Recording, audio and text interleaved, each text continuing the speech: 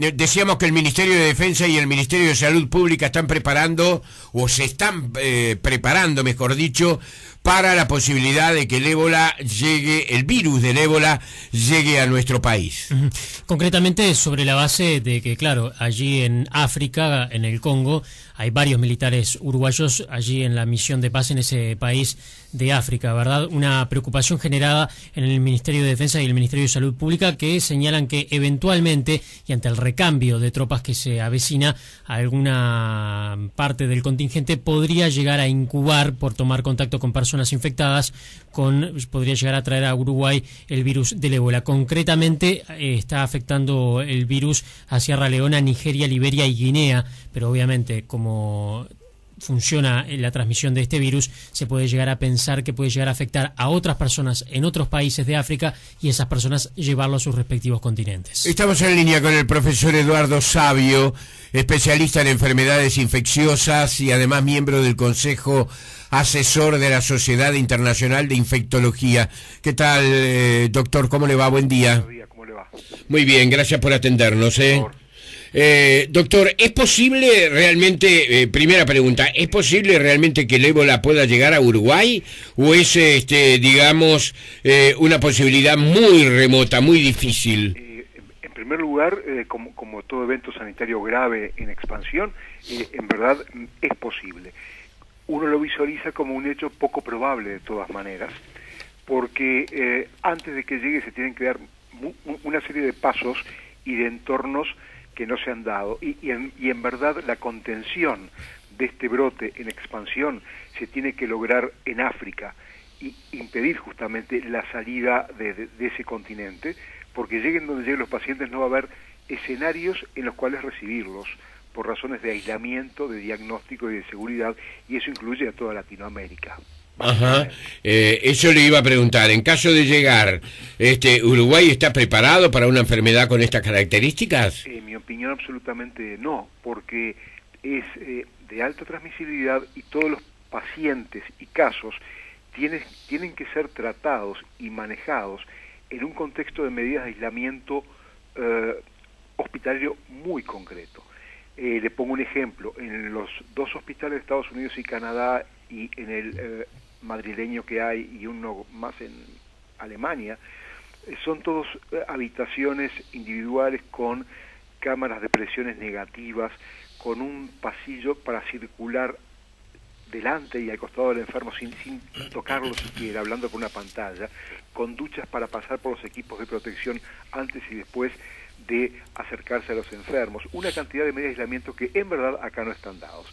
Y además para el diagnóstico se requiere manipular las muestras en laboratorios con niveles de bioseguridad mínimo de nivel 3, que es alto, preferentemente 4.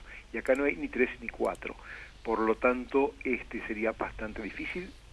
Hay que ser realista y manejar esto acá. De momento, en las condiciones, no. Y vale lo mismo para toda la región, obviamente. Claro. Eh, doctor, yo sé que me quedé con la primera impresión que usted me dio que es este, mínimamente probable que el ébola llegue al Uruguay. Pero en caso que el ébola llegue al Uruguay, este, eh, como usted me marcaba recién ese paisaje, realmente sería una situación muy comprometida para toda la sociedad. Sin duda, porque además, este, en, en verdad, en un plano teórico se sabe perfectamente qué es lo que hay que hacer en todos los casos, puesto que la OPS mismo ya, ya dio directivas para todos los países eh, miembros incluso Argentina ya, tomó la directiva de OPS, la publicó, la emitió, etcétera. Pero todos los contenidos que son correctísimos de esa directiva, físicamente eh, no se pueden montar. Usted fíjese una cosa, si hace, yo que sé, como 10 años, cuando tuvimos el evento del SAR, eh, estábamos discutiendo si tener o no un nivel de laboratorio de ciudad 3 pasó la pandemia de influenza, pasaron varias males por el estilo y nunca más se habló del asunto, no vamos a pretender que ahora, en una semana, alguien se ocupe de fortalecer capacidades de laboratorio, fortalecer capacidades de control de infección hospitalaria, ¿verdad? Claro. Yo, yo lo, se lo digo desapasionadamente de una óptica realista, ¿no? por, por lo que he vivido en años y por lo que veo venir. Claro. ¿Es este virus el más temible de todos, este doctor? Es uno de los más temibles básicamente porque es muy transmisible y la mortalidad que genera siempre ha sido muy alta. Desde el año 76, cuando se dio el primer brote, hasta el momento actual, en algunos casos la mortalidad fue del 100%, en otros fue de 50%, pero es muy alta y se transmite muy fácilmente entre personas por contacto directo, básicamente. ¿Por la respiración puede ser? No. ¿El viento lleva el, virus también? Eh, ¿Es así, doctor? No, sí, lo puede llevar a como sea, pero digo, eh, eh, el punto es este, el contacto directo con, con sangre, sudor, saliva, lágrimas, secreciones, orinas, heces o cualquier fluido de una persona enferma es infectante. Pero a su vez, si esos fluidos están depositados, supóngase usted, en una ropa de cama, en un mueble, donde sea, ahí por contacto indirecto la persona, a través de su piel erosionada o de mucosas sanas, puede infectar. O sea que las chances de infección son muy altas. Sí, así que el SIDA eh, es una, una gripe fuerte al lado de, esto. el SIDA siempre fue una gripe fuerte en comparación con esto. Y la capacidad de dispersión no es tal. Y además, ya que me está diciendo esto, recuerde que ahora ya hace muchos años en el SIDA tenemos tratamientos hiperefectivos y que para ébola no hay absolutamente nada que sea realista y aplicable en, en, un plazo corto e inmediato, que es lo que se debería estar haciendo ahora. Claro, Estados Unidos habla de la posibilidad de una vacuna en el año 2015, esa vacuna estaría eh, ya hecha y programada, pero sin embargo, lo, la, mm, no sé cómo se le llama este, al organismo federal de los Estados Unidos. La, FDA. Ahí está, la FBA no está del todo convencida, entre otras cosas, de las contraindicaciones que tendría esta vacuna. claro, es peor de lo que me está diciendo, porque en realidad esa, esa vacuna, eh, hace unos años que la viene, el proceso de, una, de, llegar a una vacuna lleva muchísimos años de investigación. Y los NIH en los Estados Unidos han estado trabajando en esta vacuna, pero ni siquiera se llegó al nivel básico de, eh, de, ensayos de fase 1, que son con animales, antes de llegar al humano, etcétera.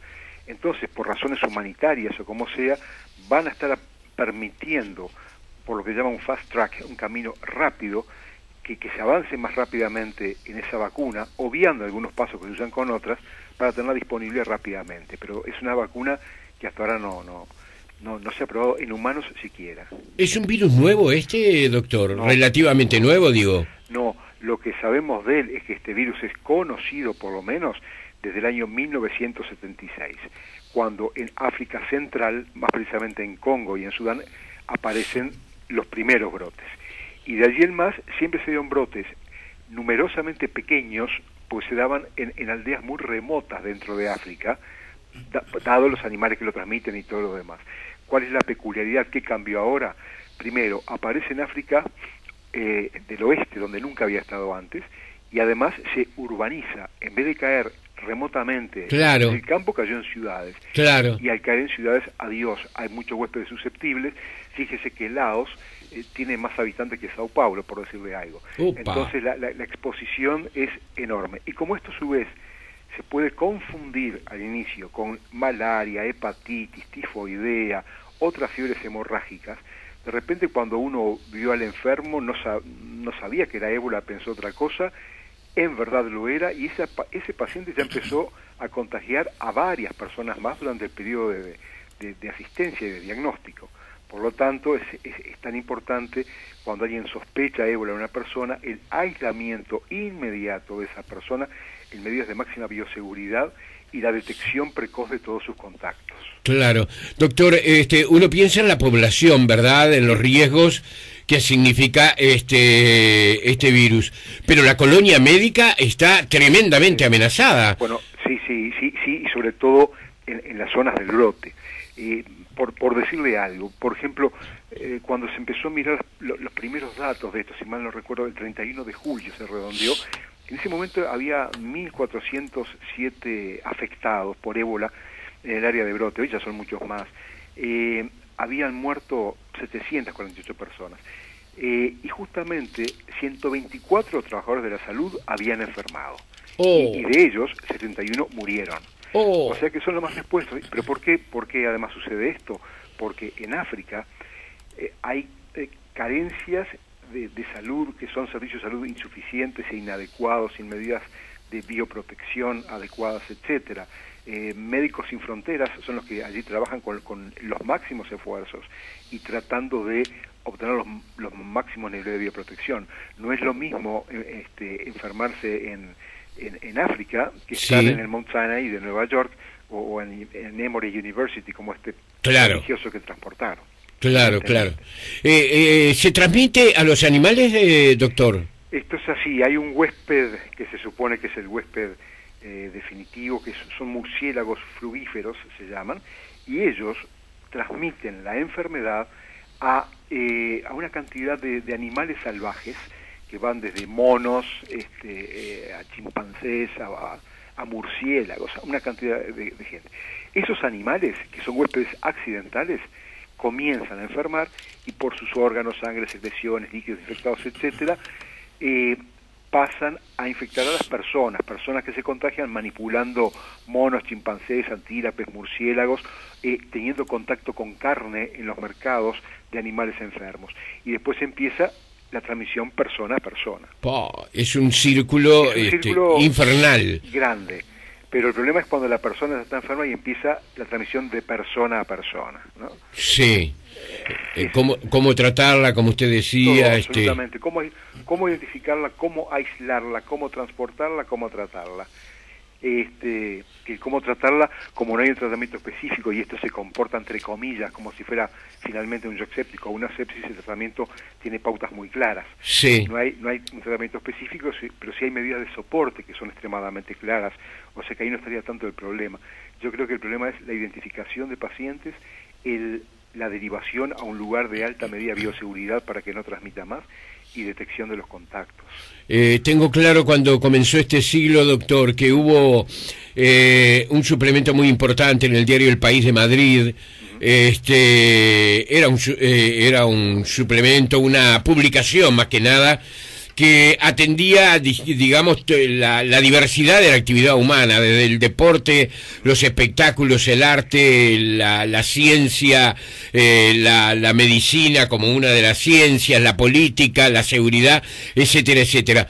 Yo no recuerdo, creo que se lo mencioné en alguna oportunidad a usted en algún diálogo anterior, pero uno de los médicos que estaba requerido allí, en su opinión, recuerdo que era un médico inglés, no recuerdo su nombre, pronosticaba en, en el ánimo, porque ese era el ánimo un poco de la publicación, que en los primeros 25 años de este siglo creía como muy probable que el, eh, que el mundo derrotara el cáncer. ¿Eh? Como muy probable, no lo daba como seguro, que el hombre derrotara al cáncer. Pero decía, este, pero entonces el hombre se va a enfrentar a su fantasma mayor, a su rival más temible, las enfermedades infecciosas viejas que van a retornar y las enfermedades infecciosas nuevas que se van a generar y que van a ir creciendo. Ese va a ser, esa va a ser la gran lucha de la medicina probablemente en el siglo XXI. ¿Usted coincide? Y bueno, este, está demostrado que, que lo que esta persona predijo se está dando completamente. No se resolvió el cáncer, pero se avanzó mucho. Las enfermedades infecciosas continúan siendo un problema grave en todos lados y son enfermedades, algunas son viejas enfermedades emergentes o reemergentes y hay otros agentes eh, nuevos que están viniendo. Fíjese que había un, ambicioso proyecto de que en 2015 estaba erradicada poliomielitis del mundo. Sí. Poliomielitis es un enorme brote ahora en Oriente Medio. Tuberculosis. La tuberculosis, bueno, eso como uno siempre convivió con tuberculosis toda la vida en este país y lo demás nos llama mucho, pero no poder erradicar la polio, por ejemplo, no tiene sentido. Y sobre todo por los factores que, que impiden erradicar la polio, ¿no? Que no son tanto médicos, sino como, como sociales, religiosos y fanatismos que han habido en esa área. Entonces, este, hay, hay muchos problemas sin duda y por eso esto de la infectología es muy apasionante. Uno siempre tiene con qué entretenerse y aprender todos los días este, cosas y desafíos nuevos. Incluso uno ahora, cuando yo estoy mirando esto de ébola, recuerdo perfectamente los planes de contingencia de SARS, de influencia pandémica, de influenza aviar, de cómo lo fuimos construyendo colectivamente, cómo se implementaron cuando hubo que implementarlos. O sea que siempre hay que sacar cuenta de las lecciones aprendidas, ¿verdad? Y aplicar lo que quedó de antes para usarlo en este nuevo, en este nuevo evento. Claro. Doctor, siempre aprendemos con usted. ¿eh? Le agradezco mucho al profesor Eduardo Sabio, especialista en enfermedades infecciosas y miembro del Consejo Asesor de la Sociedad Internacional de Infectología. En nuestro comportamiento personal, individual, es muy prematuro, ¿verdad?, este, tomar este, precauciones o dar consejos. No, no, o sea, digamos, estamos lejos de que alguien enfermo llegue, básicamente porque no, no, no tenemos vuelos directos con esa región, aunque sí hay vuelos, la gente triangula, vuela de sí, a Sao Paulo, como, como quiere y pasa. Este, yo creo que, que es, un, es difícil que esto suceda, pero que quizás las autoridades sanitarias sería muy bueno que se pusieran a pensar dónde albergarían un solo enfermo, no, digo diez, digo uno, uno, con máxima seguridad para que no disperse con otros. ¿Qué equipos de protección personal se le va a dar al personal de la salud que los va a atender? ¿Quién es ese personal de la salud y dónde va a estar localizado? ¿Qué centro de referencia se tomaría para albergar a esos potenciales pacientes? Eh, son pasos que tienen que estar resueltos ahora, porque si en 48 horas un, señor que viene de, África vía París eh, desarrolla un síntoma de ébola, hay que actuar de acuerdo a los protocolos vigentes de, la OPS y de la OMS. Para eso hay que tener estructura. ¿Usted no ha sido consultado, doctor? Eh, aquí en Uruguay no, pero yo estoy integrando algunos planes fuera del país por, por mi trabajo, este, justamente la construcción de estas medidas de contingencia. Doctor, profesor Eduardo Sabio, gracias. Eh, como le dije hace un instante, siempre aprendemos con usted y siempre lo escuchamos con mucha atención. Un abrazo grande. Y a las órdenes cuando quieran discutir más sobre estas cosas que va a dar para mucho tiempo que hablar. Me parece, que sí, exactamente. Contamos con su generosidad. Hasta muy pronto, ¿eh? Que tenga buen día. Adiós.